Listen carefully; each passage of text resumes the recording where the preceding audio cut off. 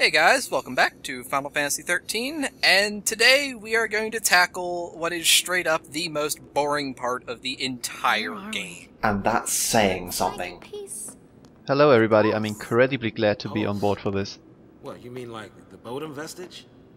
Something like that. Yeah, that. we've got a hell of a ride lined up for you Yeah, guys well, What I today. don't understand is after the purge and all that l'Cie paranoia. And with a hell of a ride you mean we best come up with something incredibly entertaining so people don't close it Is this what the immediately? Primarch wanted us to see? Well, A place for l'Cie to I don't know, I think if, if someone's managed to stick with it this far, they must have a pretty poor ability to judge what's, what's interesting and what's boring. And over skipping through the videos to get to the interesting part, Destroy the so they're still waiting for that to happen. But um, if, if any of those kinds of people are watching, the best part of this video can be found at 27 minutes and 52 seconds. Out of luck. Uh, so we have a brief section here where Mr. Hero. we say Snow is still a little dejected from uh, Barthandelus basically telling him that his big hope was a lie, and they're kind of debating on whether or not they really should believe Isley Dysley. wants it to come true. Well, Seems that way. I sure don't really see it. what's the debate. Here's your focus on the silver platter. Yeah, I guess so too. I think the big problem with uh, this scene and a lot of them to follow is that they don't actually know if they should follow what the bad guy, who is relatively surely the bad guy, Some grand design we tells them to, but then they do it anyway because they don't really have a choice, and it's a lot of platter about nothing that actually will change Nothing from you? because the game is too linear. Yeah, they're kind of like inescapably bound to their fate, and by God are they going to tell us about it. Yeah, and it's, it's not like the corridors aren't linear, guys. You just will have to follow them and see what happens. It's not like you've done anything differently for the last 20 hours. So then, the fifth arc. Yep. We got a brief little section where we can run around and talk to people, but uh, the way forward is out where Fang is. So gathering up the tools for destruction turned you to Crystal. Yes, that was what you were saying before, and will continue to say for the rest of the game. I always think this uh, location here looks like a metro station and I have no idea why. It because it basically is. I, I can't think of any better way to describe it. Uh, yeah, but I, I mean in context of what this is uh, in, in, universe, because I don't even know what this is in universe. Yeah, like knowing knowing what we know now, there is no fucking way that it makes any sense at all for there to be a, a train station here. But it wasn't. Yeah, and the thing is, as said, I've, I've watched another Let's Play of this game and I played it myself and I still have no idea where they actually are, how this entire structure looks from the outside or anything. I've always think that thought that uh, among all of the disconnected locations of this game, this one must be the worst in terms of presenting itself as something that could actually exist somewhere. Yeah, like we we we did see this building from the outside in the cutscene in the end of the last video. Did we? I forgot. Checking your brand? Well, did was was there was there any any rail bridges going into it? I don't I don't think there were. Next stop, Cieth Central. Well, to be fair, we saw it for all of about 10 seconds, if that, so. I mean, not exactly in much time to get a good look at it. Yeah, I've been distracted often when seeing these cutscenes by how bad they are usually. but it's it's really I have no idea what this actually is from the outside and I've never had. Don't believe everything a Fal'Cie says. He's telling us our focus is to destroy Maybe I'll have to pay attention uh, at the moment we get out in one and a half one be and a half lying to hours or something. into helping him to do something else. One and a Should listen half. to Serah, Yes. not Yes, we'll, we'll say it takes that long. Yes. That's that would be such a pleasant thing to believe. So Dysley was really the Fal'Cie The, the edited one and a half hours. Yes. Do do I even want to know?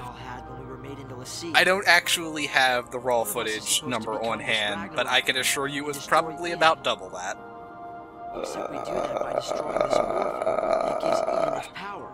Yeah, this is this is really terrible and one of the worst parts in this game for being uh, exactly as bad at stuff as the rest of the game is. Like it it's uh, a summary of all of its problems, really. I gotta apologize. Looks like I was wrong. About even with all the shit that we've put up with so far, this still manages to outdo the lot of it. Yeah, well, even heroes And it probably comes at the worst part uh, of the game anyway, because you have just been given freedom to change your party. So it's like the game opens up now, guys. Either And way, I personally think the faith Palamecia isn't was that bad actually That as a dungeon, because at least it changes locations a lot and it looks like it could be It's exciting. wrong. And you have three people You in your so party. But then this here fooled comes and completely destroys all the enthusiasm you could have been building up now. Final Fantasy 13.txt.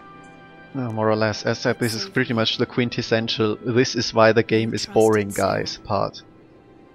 Yeah. let that faith drive you. It even made me. I mean, it kind of makes a bad commentary to repeat again and again how incredibly boring this is, but um, I, I think the game itself drives it in, and I, I don't I don't think our viewers who are bl- who are going in blind still comprehend how bad this next couple hours is. Although you know what, let's just let's just show. Let there's no there's no need to keep harping on it because it's yeah it's gonna be very obvious very quickly. bated breath, bated I want to breath. say we're close to Eden. Anyway, the uh, the uh, game here has stuck us with Vanille and Snow, and you know, that's an okay party. But you know everybody wanted Fang and Sazh, so that's what we're gonna do. Yeah, I like Fang and Sazh mostly because I don't like Snow, Hope, or Vanille. So I'm with you, that's a good party.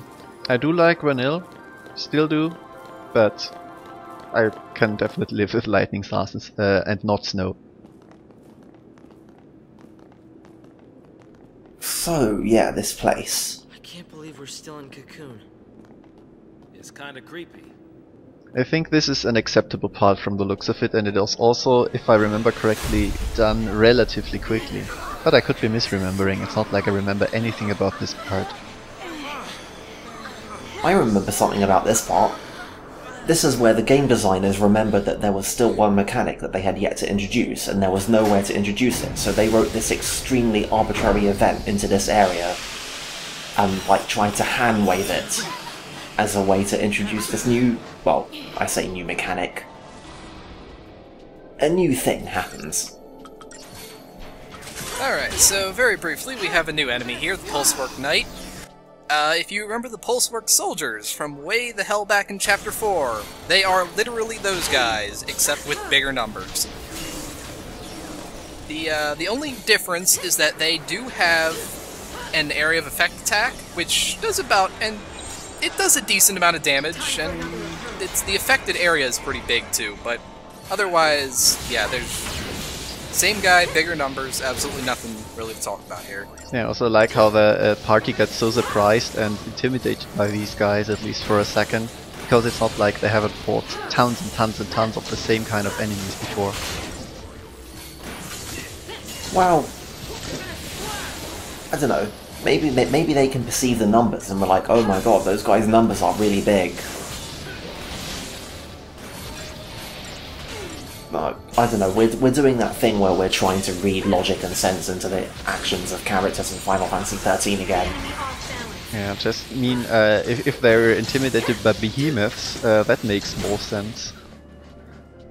That's that's funny. You say intimidated by behemoths. Lol. I'm sorry. What? Holy shit! So yeah, now we can make everybody every role. For reasons that will be explained in a wonderful post drafted up by Fadul, we will not be doing that until the end of the game. Do you even need a post to say it's just too expensive? Well, that's one of the things.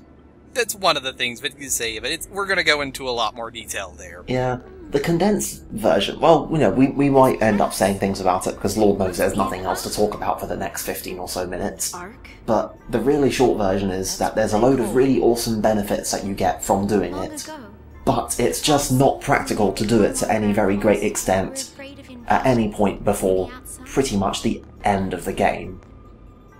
Maybe if you like make a big dedicated effort, you can get one person to the very minimal level of one new role and get just enough benefit out of the cost that you get to make it worth it. So this is basically I know that uh, at, at one point in chapter 11 or so I had done enough uh, believed in 'em. mystical things that have not yet happened and will never happen after that. And uh, I made one character into a sentinel to help out in my chosen team, which I liked. Him. That's about the extent of what I did. I don't know if it actually was Some secret really kept. a good idea, but it helped a Those little. Sanctum guys. I believe. What are they up to? The story's not done. Yeah, the, the short version is that if you're really, really dedicated, used to say it's probably worth getting Fang Ravager, Hope, mm-hmm. Saboteur, and Sazh Sentinel. Really? Outside of that, you are wasting your time. Yeah. To force l'Cie Yeah, I think it is actually shiny new powers. Which I did. So I did well. Yes. Okay. Yeah, so- it plays into how a couple of very specific goal is to mechanics work on the formula level. Not Cieth, but monsters all I haven't penetrated so deeply. I, I usually like reading Think of his FAQs and stuff and getting a little into the nitty gritty of things, but I didn't bother much with this game because it's just not worth it, I feel. There are there are a couple of somewhat slightly interesting things happening under the combat hood in this game. Again, most of which are to do with the things that benefit from having anyone be able to take up any role. I just feel that most of that in, in in most of that nitty gritty stuff in this game uh, is hidden behind a gigantic mountain of effort you have to uh, invest in order to make it actually work for you. And this is this is, for example, why I'd say that uh, Lightning is probably the most interesting character to use, because you give her two items, the Access Blade and the Whistlewind Scarf, as we've already been told, I think, uh, to make her uh, ATB leech movement, where, where she hits guys and then gets more ATB. And that is something that is moderately obvious and easy to do because you just find these items and you can make her into something unique with that. And for almost everyone else, I really don't know of a viable way to do this as quickly and uh, simply. And um, because everything else would require an insane amount of effort and crafting of weapons and stuff, and just reading uh, in it in FAQs because there is no way you can uh, realize it for yourself. They said you can stumble upon some of them by accident. Like, that's what I did with Sazh, actually. Uh, Critical Shell is totally useless to him, but This art thing that is combined with his guns gives him the synthesis ability that makes his buffs last 30% longer. Why critical shell? Actually, it's not even Critical Shell, it's Critical Veil, actually. Ah, okay, that one that one actually kind of makes some sense. Like I could, sure as hell it makes more sense than it being it coming from critical shell. Yeah, it's like a buff thing and some other buff related thing. Um, yeah, but still, I don't think. Uh, I mean, that improves um, his being a synergist, yes, but uh, it, it's not really something that makes him interesting. It likes it, it yeah, it, it improves what he does, and uh, it is not something that Hope, for example, can do. That is nice, but but the ATB thing uh, is directly something that actually makes using lightning in combat a little more fun and you see stuff going up a little better. So I think I prefer that. It's just a, a minor difference, I think. If I still had any faith in this game, you could say that it makes her move like lightning. But I don't, so I won't. We're just we're just gonna ignore that. Yes, thank you. I'm just going to ignore that because I don't have any faith left in this game to seriously assert that that was a thing that they did deliberately. Anyway, um, those yellow balls a while back are circuitrons, and they are literally just bombs, but electric. I like these guys because they are really good if you get one early in 13.2. Yeah, I rocked the entire mid game with one. I like 13.2 actually. yeah. Well, 13.2 will be a hell of a lot more appealing when we don't have this between us and it. Alright, so, uh, another thrilling new enemy here. Thanks. Uh, the, I don't even want to know how to pronounce that, but they're slugs, they cast absorb nutrients, and they steal about 500 HP from you. That's all they do. Noctilucale. Or Noctilucale. Um, no, I'm pretty sure mine is correct. I wouldn't. I'm not. I'm not. I'm not seriously trying to argue. I just actually don't know. If I mean, if if you say so, Yep. Yeah, the only thing they do is do about 150 damage and they heal themselves for about the same amount. well then. It's something that could be more interesting in a game that isn't so oversaturated with numbers, because it's like one number they do and you do like eight numbers at the same time, so it's completely meaningless at the end of the day. And now we have some flans. Yes, these are the phosphoric ooze, and they are basically mini flans. When they hit you, they will inflict poison, and if you leave them alone long enough, they will actually merge together and make a much bigger, more dangerous flan. Huh. That's almost interesting. I do think that these are interesting enemies, yes. Yeah, and they it, and it gets really dicey when you're in a fight that has like four of the slugs and four of the uh, the flans, because it's like you know, do you focus on the guys who are constantly stealing your health, or the ones who are trying to merge? It's it's a cool little thing. Yeah, some of these fights here in the beginning are legitimately hard and challenging because of uh, decisions like that, and uh, this is really a part where you can't just mash X to win the game, as a lot of people have said. Yeah, I don't. I, I can kind of understand why people would make the mistake of thinking that this is that kind of game, especially if, you know, they make that judgment based on the first two hours. But this is the point where that assertion really starts to fall apart. Most definitely, but people who think that hitting X to win the game uh, is, is a good idea probably didn't penetrate uh, up to here. And I mean, who could really blame them? Yeah, that's fair. I, I- think uh, the, the game kind of requires you to actually um, actively try and make it fun, because it certainly isn't on its own.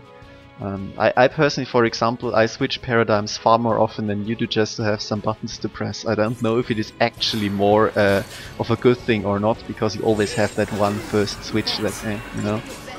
Yeah. Oh yeah. There, there is that. There is that. Um, what is it? Eight, eight seconds, twelve seconds thing where if you if you wait between paradigm shifts, then when you shift, you get a full. Exactly for that reason, yes. Because I Right, yeah, the gist, yeah, it's, it, I don't think anyone really knows exactly what it is, but the gist of it is you want to wait about two full ATB bars and then switch.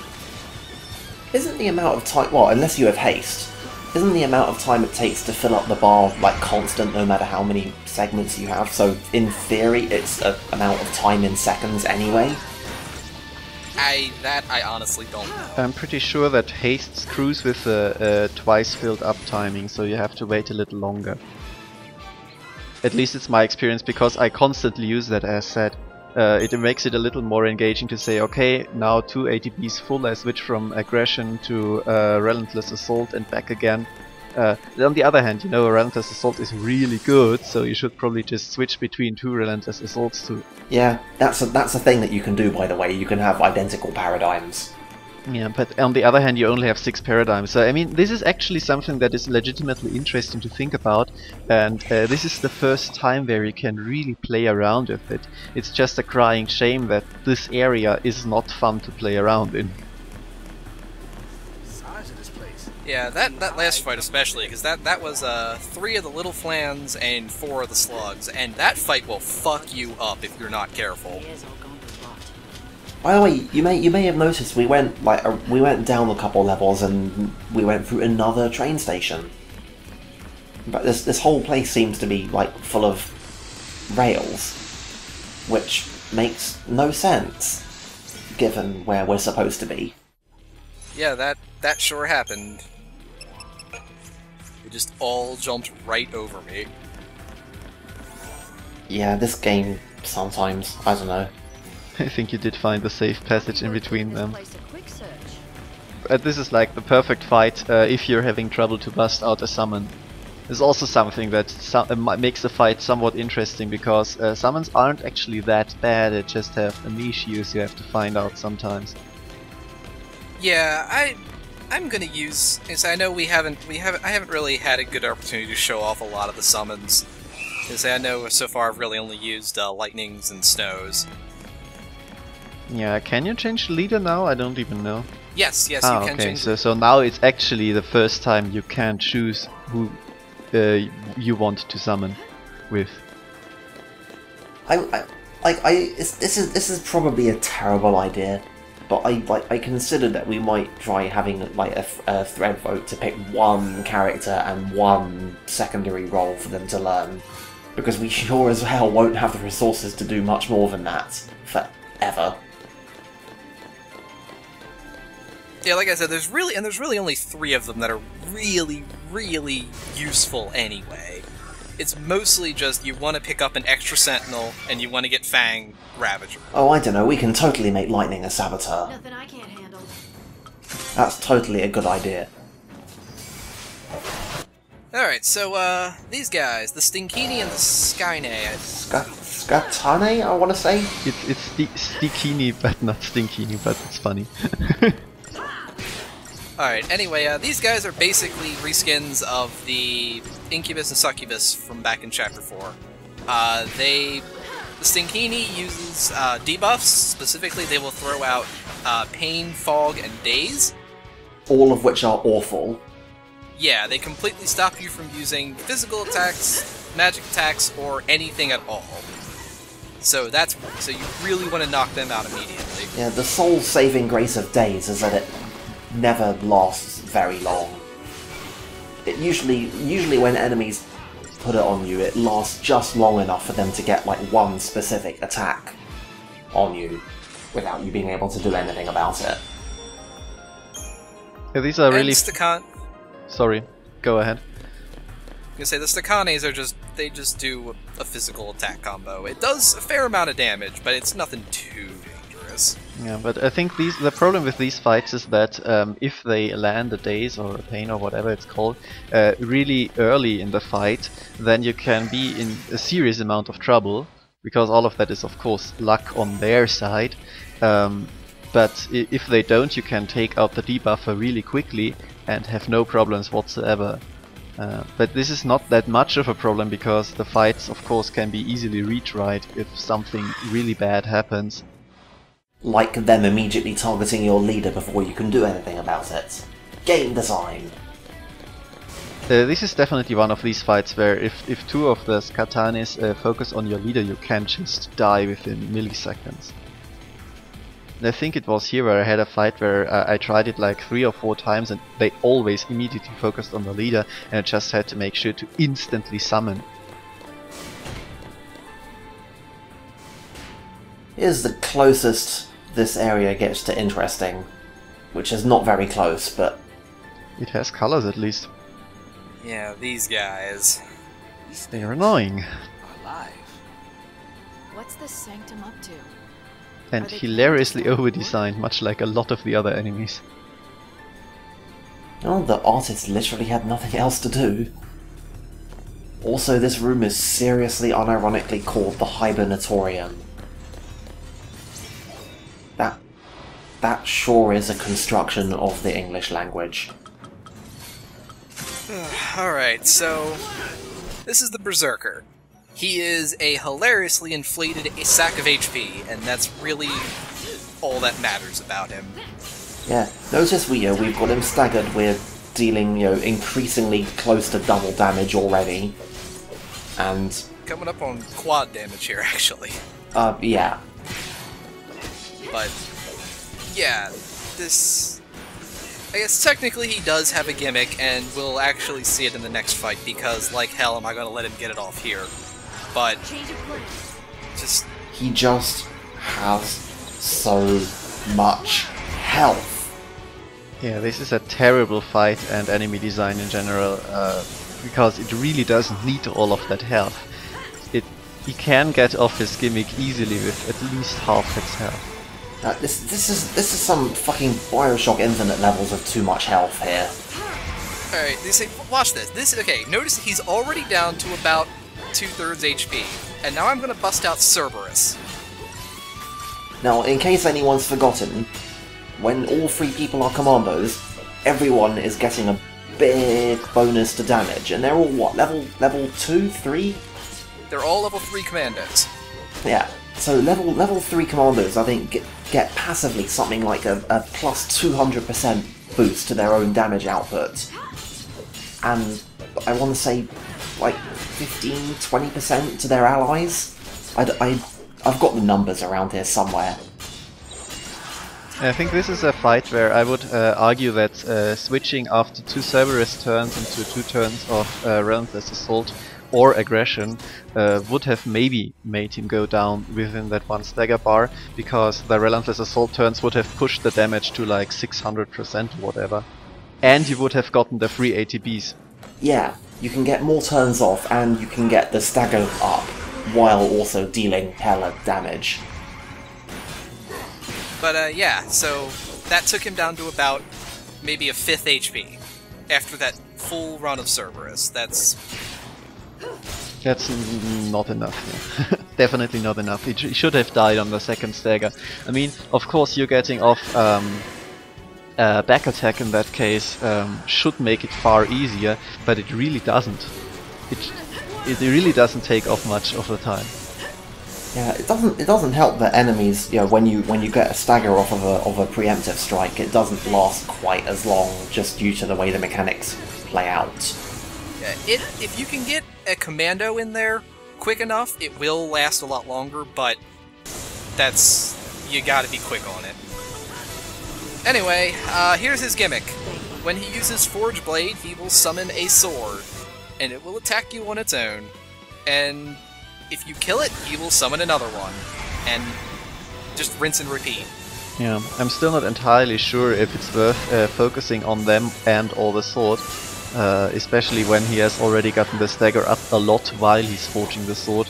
But I think it kind of depends on the type of berserker, because also, of course these guys will be reskinned to hell and back later on.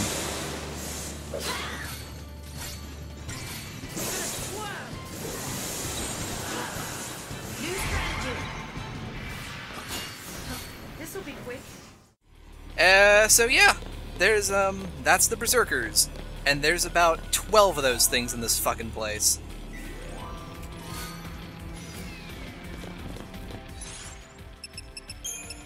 So here's a new kind of weapon class, the Staggerlock weapon. It has all around amazing stats, but it has the Staggerlock ability on it.